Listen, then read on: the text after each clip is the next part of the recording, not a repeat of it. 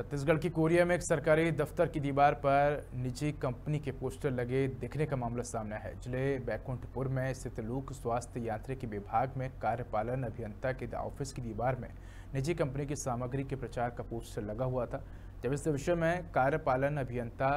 चंद्र बदन सिंह से पूछा गया तो उन्होंने इन पोस्टरों को नियम अनुसार हटाया।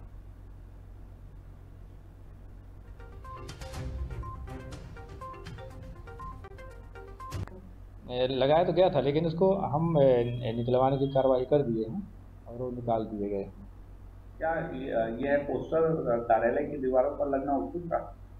उचित तो बिल्कुल नहीं था लेकिन जब शुरू शुरू में इसमें कुछ नए तरह के जैसे सेडल पीस के एक नया फ्लो कंट्रोल वाला का नया जो वो है ना कि जल जीवन मिशन में ये ऑपरेशन लगाया था उस समय उसको दिखाना ज़रूरी था लेकिन वो